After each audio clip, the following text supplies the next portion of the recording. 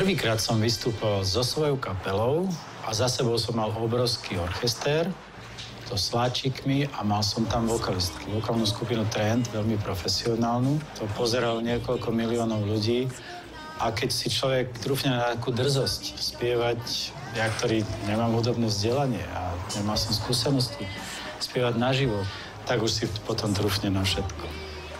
Človek to musí z tej strechy skočiť. Ten bungee jumping si tam musí vyskúšať.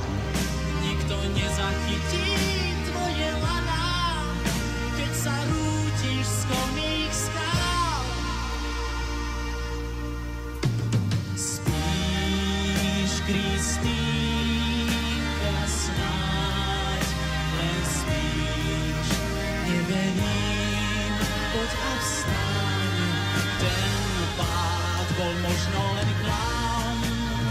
Zrovna v tom čase už prudko stúpala hviezda Petra Náďa a vtedy do toho prišla tá líra a samozrejme tomu ešte pomohlo v tom, v tom ďalšom zostupe. My sme chceli vtedy vyzerať niečo ako bojovníci proti establishmentu.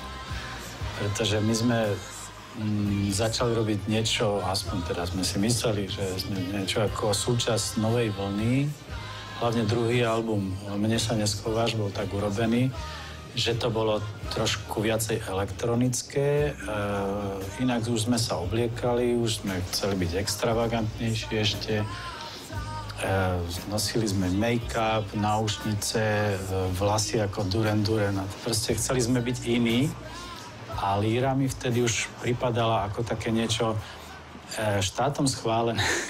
Aj sme chceli byť v opozícii. Tak e, v budúcnosti plánujeme hlavne veľa, veľa koncertov. Čaká nás presne 101 koncertov a vyjde nám práve platňa, ktorá už, už je v predajniach, už je v predaji. Je to presne táto. Profesor Indigo, so mnou nikdy nezostárneš, vzdávam sa ti. Vtedy už začala tá, kritici tomu hovoria naďomány.